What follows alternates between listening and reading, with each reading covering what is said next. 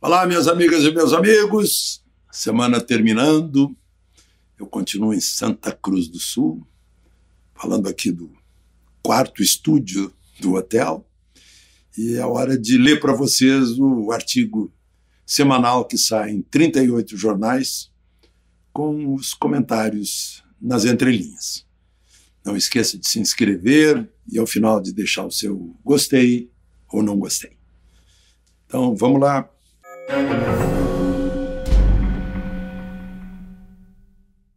o título é Intolerância do Bem. Primeiro parágrafo. Penso que um dos maiores momentos da cidadania ocorreu semana passada, quando o empresariado do pujante município gaúcho de Bento Gonçalves desconvidou o presidente do Supremo, ministro Luiz Fux haveria uma palestra jantar no Centro de Indústria, Comércio e Serviços. O preço era 200 reais para sócio, 250 para não sócio. O título da palestra seria Risco Brasil e a Segurança Jurídica. Um tema assim soou como deboche, já que a Suprema Corte tem dado origem a essa insegurança jurídica. Eu continuo no Rio Grande do Sul e soube que isso também pode ocorrer com o convite ao ex-presidente do Supremo, ministro Dias Toffoli, em relação a uma palestra num evento em Gramado, na Serra Gaúcha. Tem lá um hotel que era patrocinador, já retirou o patrocínio, não quer ver a marca dele ligada ao nome de Toffoli, muita gente protestando, eu vi que Toffoli confirmou presença, é lá pelo dia 8, se não me engano, deste mês. Ao ser condecorado na Assembleia Legislativa, foi nesta semana, eu mencionei o episódio ao ocupar a tribuna. É que o orador anterior, deputado Capitão Macedo, que foi quem sugeriu que eu recebesse essa medalha do mérito Farroupilha, que é a medalha mais alta concedida pelos representantes do povo do Rio Grande do Sul. O deputado Macedo fizera menção do incidente em Bento Gonçalves, e, e aí foi um incidente que eu saudei como intolerância do bem, porque a cidadania tem tolerado muito. E o exercício da passividade não é exercício de cidadania. A tolerância tem encorajado avanços cada vez maiores na supressão de liberdades básicas. Lembro do julgamento da presidente, presidido pelo chefe do Supremo, ministro Lewandowski, quando rasgaram o parágrafo da Constituição que estabelecia oito anos de impedimento e todos ficamos calados. Nossa omissão autorizava atos futuros semelhantes. E esses atos vieram.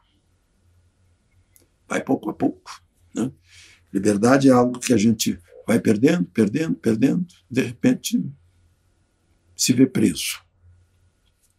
Sob o pretexto da pandemia, o Supremo deu poderes a prefeitos e governadores de ficarem acima das cláusulas pétreas da Constituição que tratam de direitos e garantias fundamentais que só poderiam né, ser mudadas por uma nova Constituinte.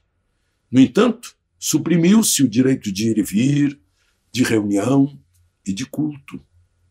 Antes já se havia suprimido a presença do Ministério Público num inquérito criado pelo Supremo, em que a suposta vítima, o Supremo, é a investigadora, é quem denuncia e julga e também executa a pena.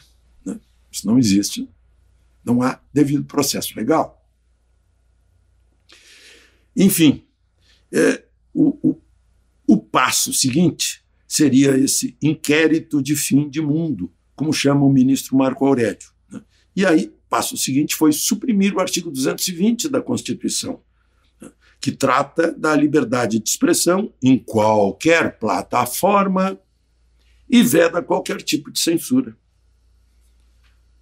Nosso silêncio, nossa omissão foi autorizando a lenta substituição da Constituição por juízes constituintes. Estamos como o sapo que se sente confortavelmente aquecido na panela sobre o fogo. Vai esquentando, ele não sente, quando vê, já é tarde.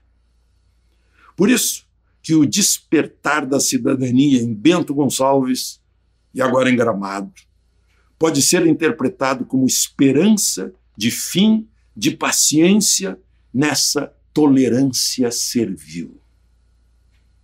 Em lugar da passividade, uma intolerância democrática, legalista, aos poucos se levanta e nos sacode a cidadania.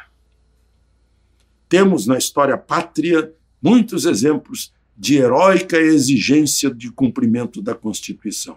Eu fico lembrando né, os Inconfidentes, lá atrás, uh, a Revolução de 32, constitucionalista, os farrapos republicanos, a, re, revoluções lá em Pernambuco.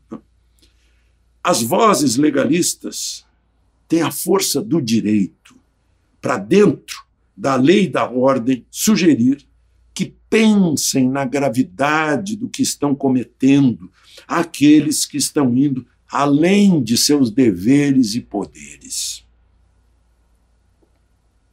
A força da democracia pode ser voz da intolerância cidadã.